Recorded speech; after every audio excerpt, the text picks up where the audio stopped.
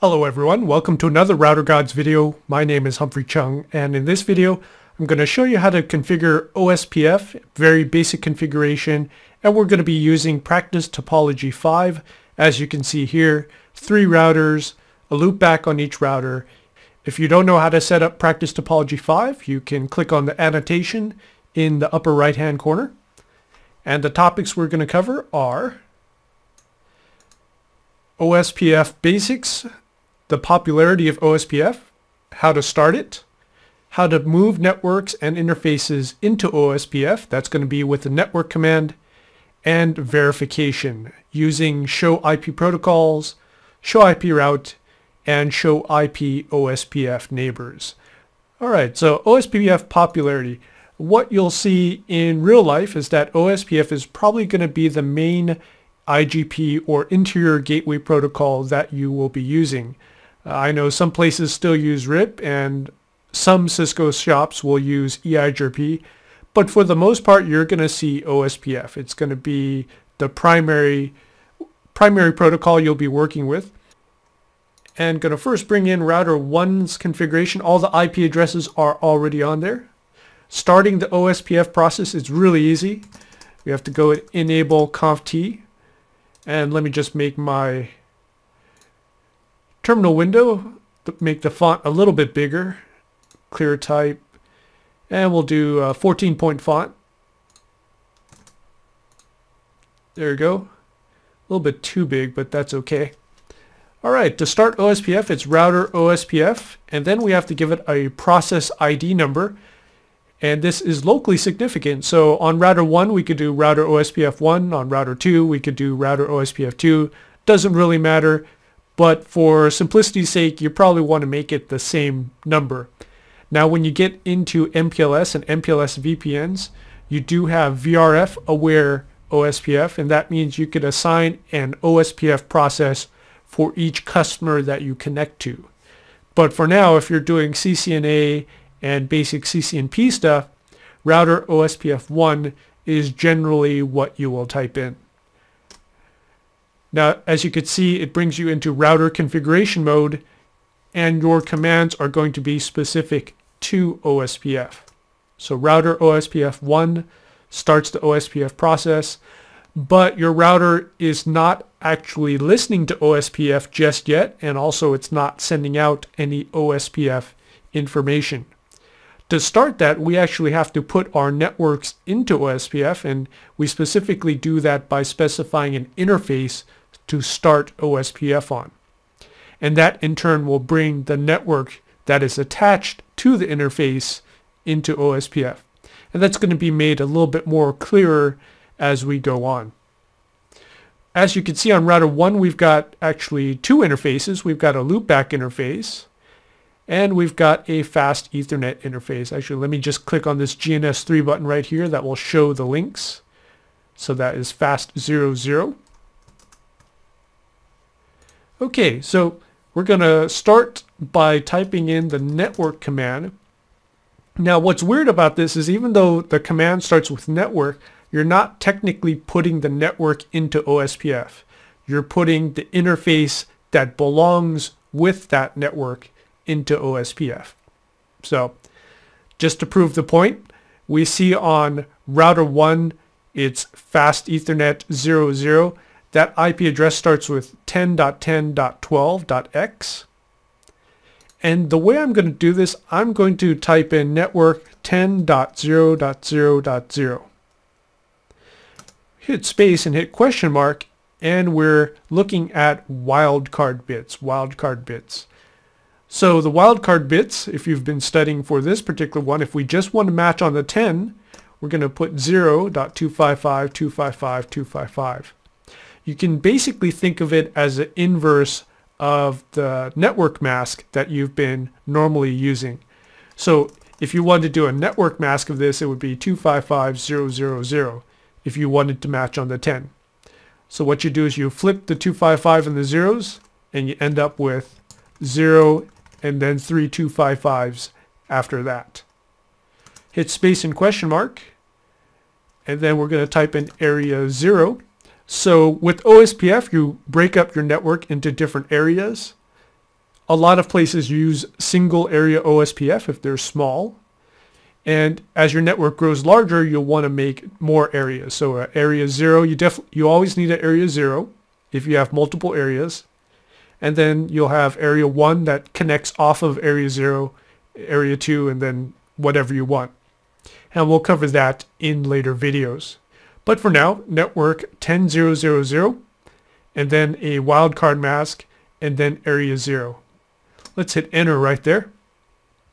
Now notice as you look at the IP address of this, and our IP address of this interface is 10.10.12.1, notice that when we typed in the network statement, it's not exactly what our interface address is.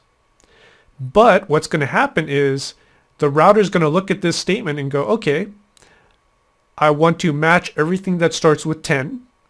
This interface matches, and then I'm going to throw this interface into OSPF. And just to prove that to you, we're going to go a little bit early and do our verification command here. It's show IP protocols.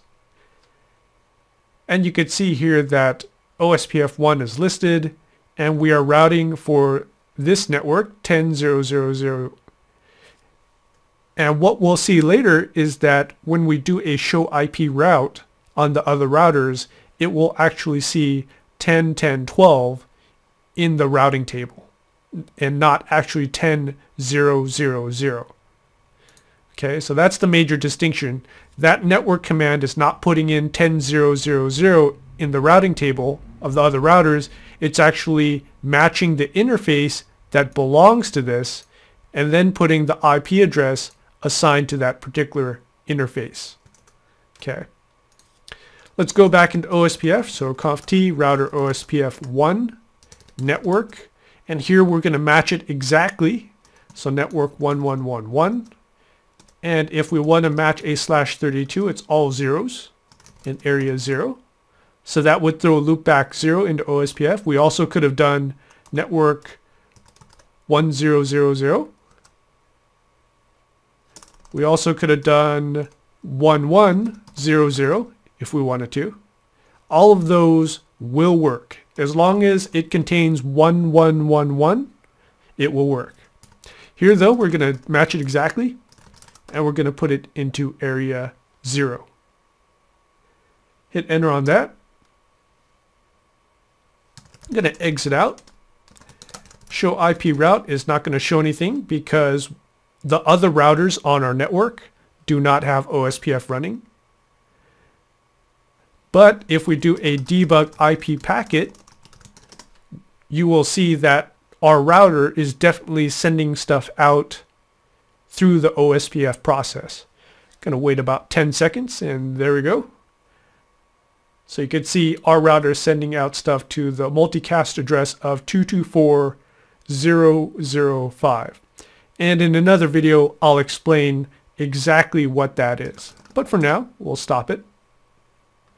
So we have OSPF running on router 1. So it's sending out OSPF packets this way, OSPF hellos, and it's also listening to OSPF hellos coming from the other side. So now we're going to go to router 2. Do an enable conft router OSPF 1.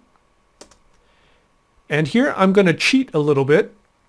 I'm going to use the Hail Mary, what I call the Hail Mary network statement, network 0000, and then 255, 255, 255, 255, area 0.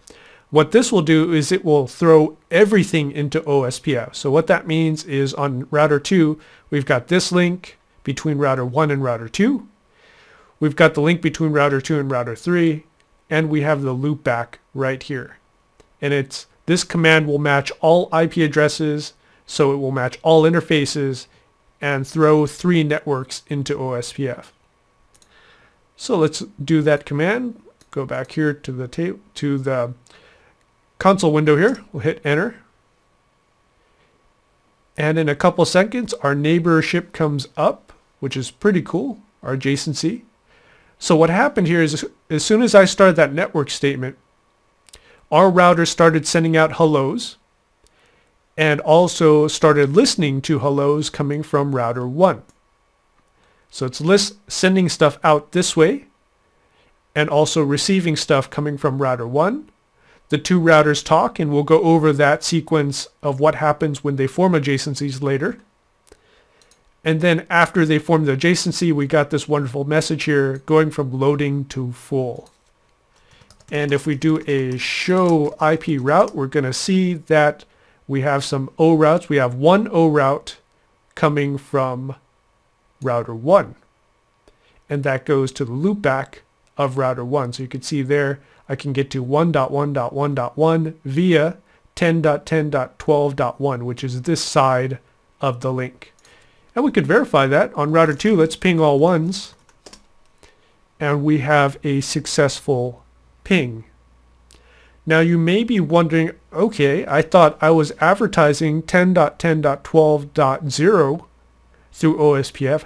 How come I don't see that in my routing table of router 2? Well, the reason you don't see that is that you've got 10.10.12.0 already in your routing table, and that's a directly connected link right there. You already know about it, so it makes no sense to see it through OSPF. And another way to think about it is you directly know about it because you made it. It's right here. It's directly connected. You're not going to trust another router telling you what you already know. Okay, let's move router 2 out of the way. Go to the last router, and this is router 3. And on router 3, let's try a couple interesting things here. We'll do conft router OSPF, that's the same.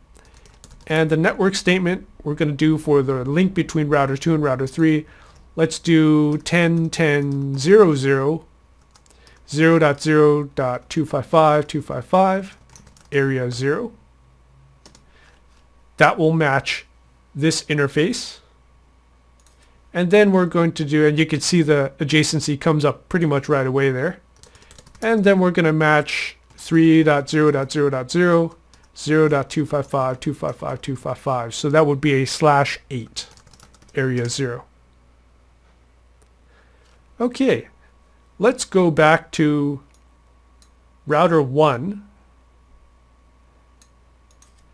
do a show IP route, and you can see here that I have a link, I have a route to this wonderful address right here, 3.3.3.3, which is the loopback of router 3, even though when I made when I entered in the network on router 3, I typed in network 3.0.0.0. Right, notice how those two are different. So this network command, once again, does not actually enter a network with this address into OSPF. It merely matches the interface. So it looks at the interface and goes, okay, does 3.3.3.3 fit into 3.0.0.0? Yes, it fits into there and therefore if it fits I'm going to take the actual IP address and pop it into OSPF and that's how we know on router 1 that we have the link to the actual slash 32. Okay, so that was a pretty good thing. We'll end up with doing a show IP OSPF neighbors. And you can see here from router 1 I have router 2 as the neighbor. All right, so that was a quick and easy router configuration of basic OSPF.